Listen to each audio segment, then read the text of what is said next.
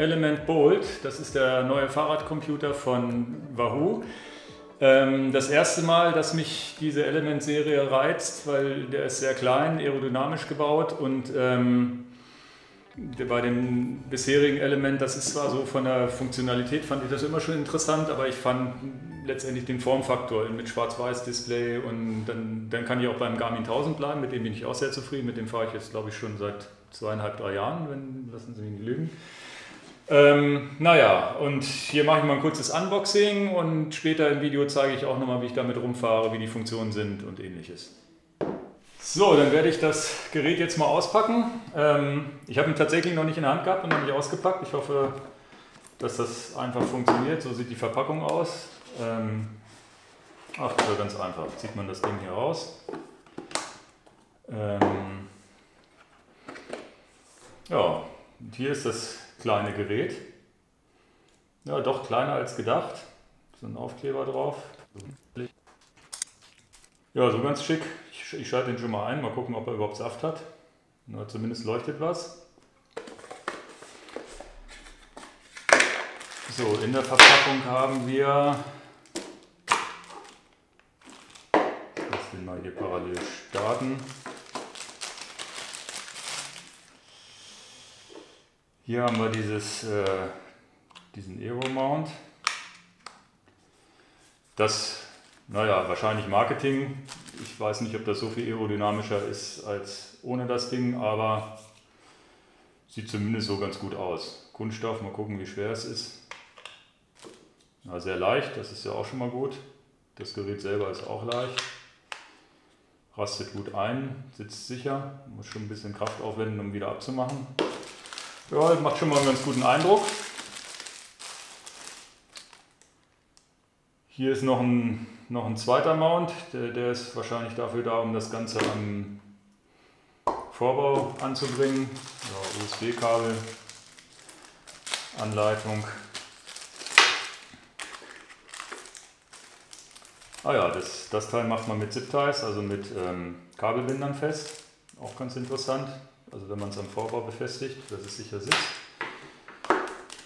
Ja, kleine Anleitung und hier sagt er mir jetzt auch schon, ich soll ähm, das Gerät mit dem iPhone oder mit, mit, mit dem Smartphone pairen. Ja, so viel dazu. Dann werde ich heute Abend mal versuchen, das Ganze an meinem Rad anzubringen. Mal gucken, ob ich vielleicht auch schon eine erste Fahrt schaffe heute.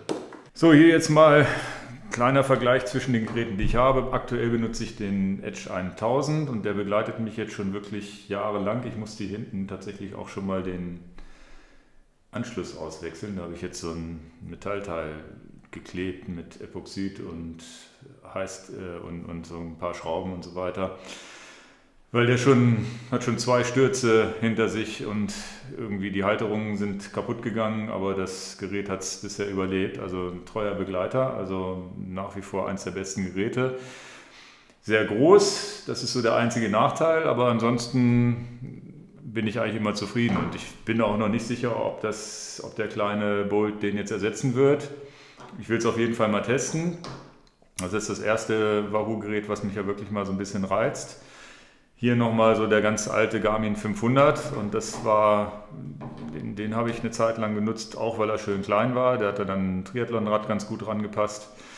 Ähm, und den 810 oder ist das 820? Ich weiß es gar nicht mehr. 810. Ich glaube 810 hieß der, Garmin 810. Das war auch so eins der Geräte, was ich so ganz gerne benutzt habe.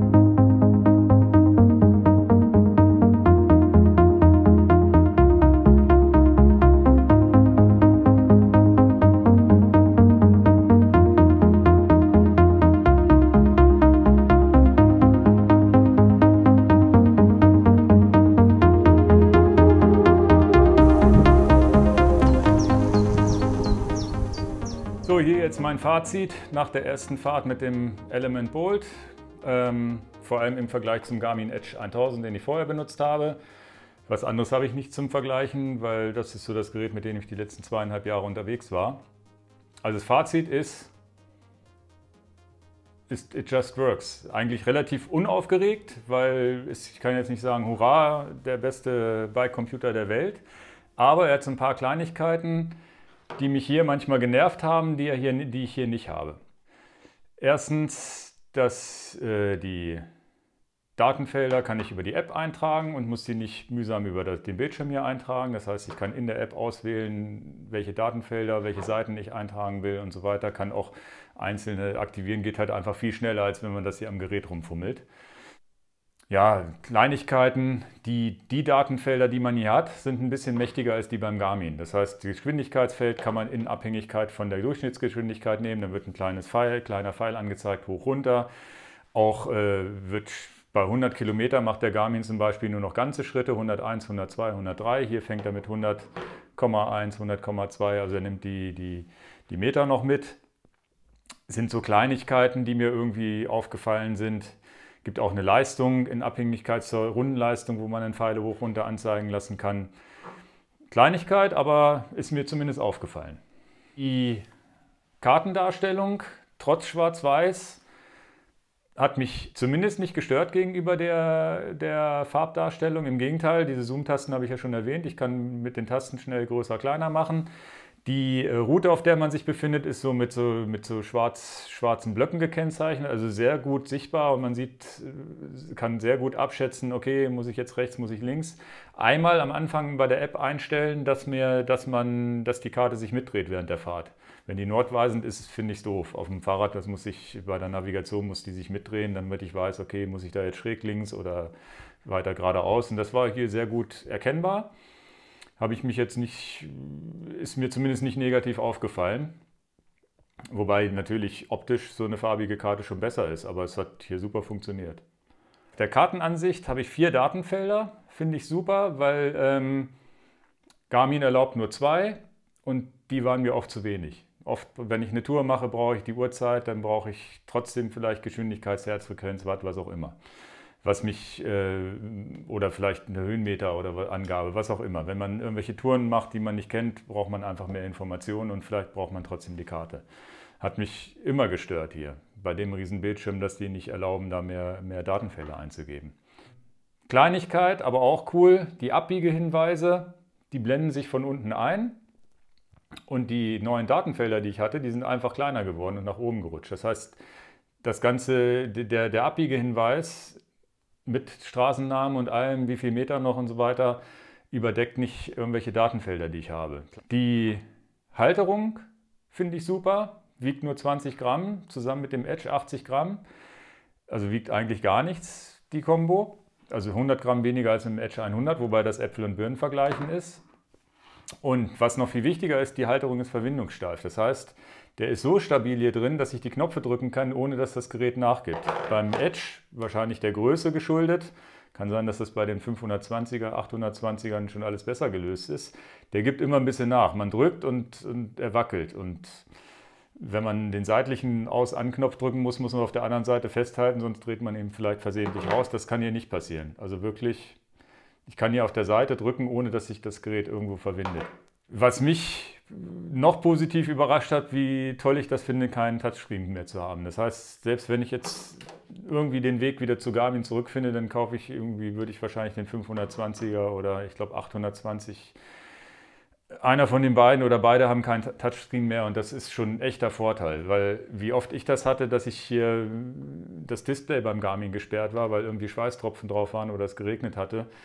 Das gehört hier der Vergangenheit an und ich kann halt haptisch die Karte rein und raus zoomen mit Hoch- und Runterpfeil, ohne dass ich das, das Auge vom Verkehr nehmen muss. Das heißt, ich drücke, drücke, drücke und gucke dann auf die Karte. Hier musste ich immer irgendwie auf das Pluszeichen und gucken, dass ich es auch treffe, sonst hatte ich die Hand getroffen und so weiter. Das geht halt beim Touchscreen alles ein bisschen schwieriger.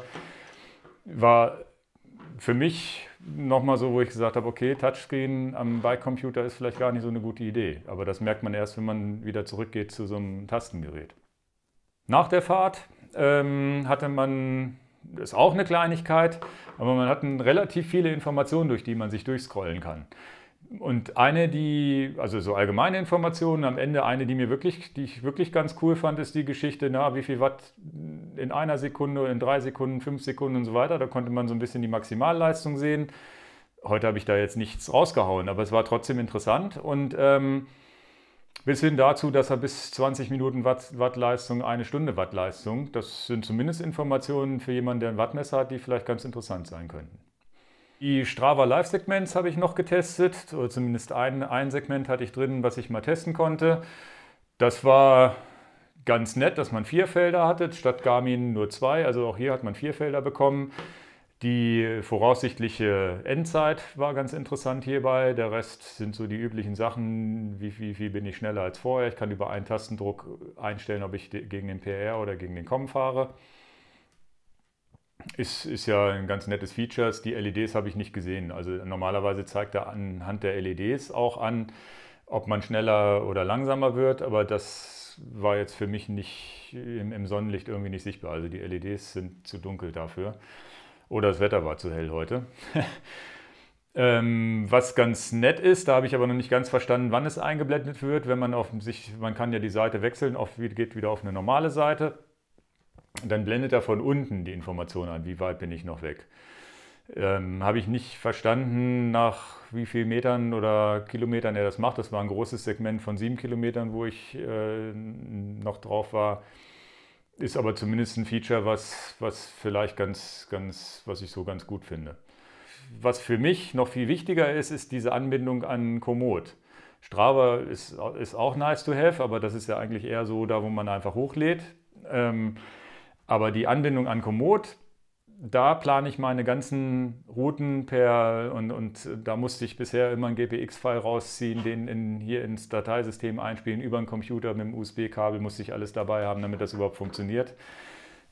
Hier, beziehungsweise hier die, die Komoot-Routen, alle, die ich geplant habe, sind schon auf dem Gerät mit drauf und äh, auf der App auch. Und ich kann hier auf der App schnell über Komoot eine, eine Route planen, speichere die ab, gehe in die, geh in die Wahoo-App, bums, äh, überspielt er die, die, die Route hier drauf. Und das kann ich unterwegs machen, on the go. Das war vorher so nicht möglich.